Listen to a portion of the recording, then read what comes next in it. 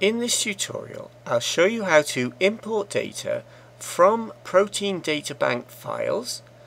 I'll import an example DNA molecule and I'll make an animation with it.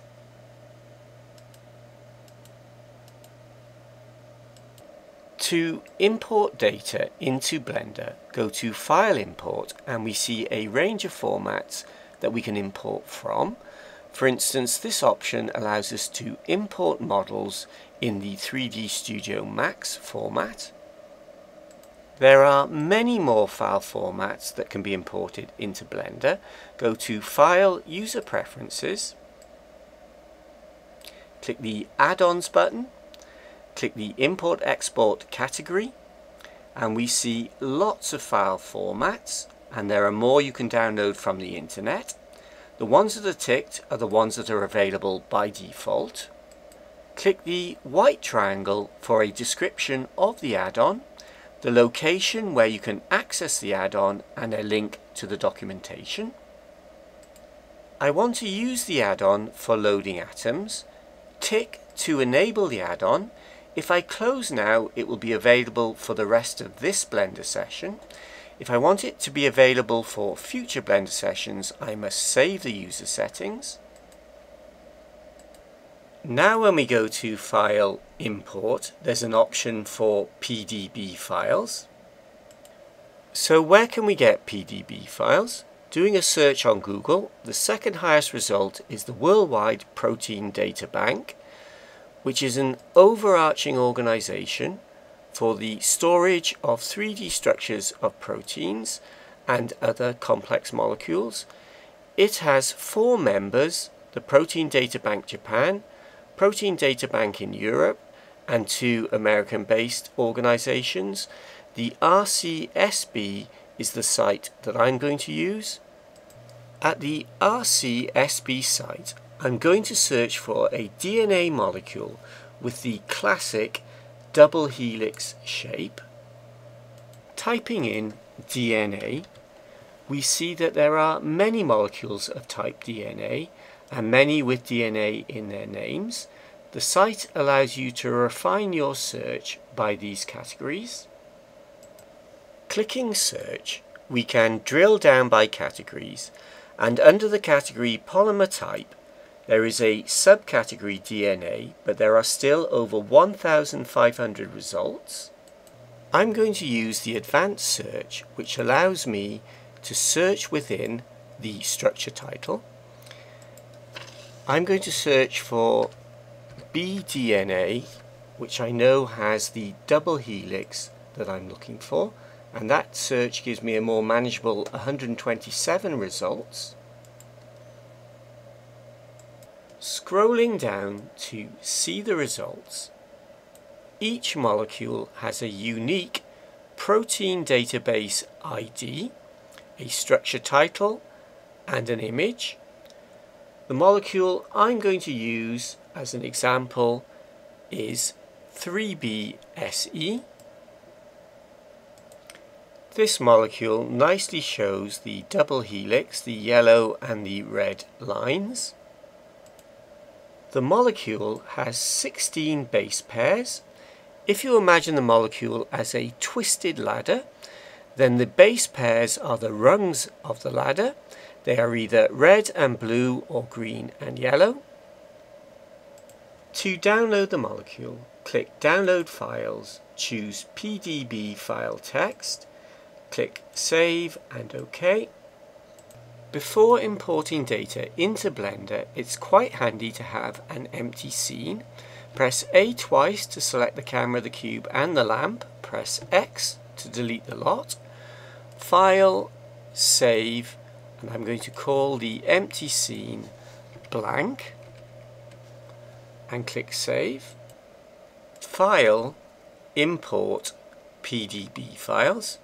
In the bottom left hand corner are options for the import. I will look at these in more detail in other tutorials. For now I just want a camera and a lamp added in appropriate positions. Go to the folder where you downloaded your molecule, select the molecule and import. Zoom back with the mouse wheel and drag with the middle mouse button to rotate the view. That's the basics of how to import a protein database molecule. In the rest of this tutorial I'll show you how I made an animation with the molecule. Drag to open up the outliner window. I'm going to hide all the oxygen atoms. Click the eye icon to hide them in the 3D view. Click the camera icon to hide them in the render. I'm going to hide the calcium atoms and I'm going to hide any sticks that have been imported. There is still the master calcium atom in the middle. Control clicking would have hidden it, but you can open up the calcium and hide the NURBS sphere within. If we look through the camera that was added when we imported the molecule, we see the whole of the molecule but at an angle of about 45 degrees. I want a more square on view so I'm going to change the view to the right view, zoom back with the mouse wheel and in the view menu align view, align active camera to view to animate the molecule, I'm going to start by rotating the carbon atoms in the outliner window, select carbon. I need to insert two keyframes. My rhyme for inserting keyframes is go to frame, make change, insert keyframe. Go to frame 1, I'm in frame 1. Make change, set the Z rotation to 0, it's already 0. Insert keyframe, right click, insert single keyframe. Set the total length of the animation to 180 frames. To insert the second keyframe, go to frame, go to frame 180. Make change, set the Z rotation to 358 degrees. If you're going to loop the animation, setting it to 358 avoids having two frames at the 360 zero position. Insert keyframe, right click, insert single keyframe. Clicking play. Besides only the carbon atoms rotating, there is another problem of the speed of rotation not being constant. Change the window to graph editor. In the key menu, change the interpolation mode from Bezier to linear. Change the window back to 3D view. In the outliner window, select the nitrogen atoms, click the constraints button, click the add constraint button and add a copy rotation constraint. Set the target to be the carbon atoms. Repeat the same for the phosphorus atoms. Add constraint copy rotation and set the target to be the carbon atoms. Select the lamp click its object data properties and set its energy to 10 click the world button and set the horizon color to black.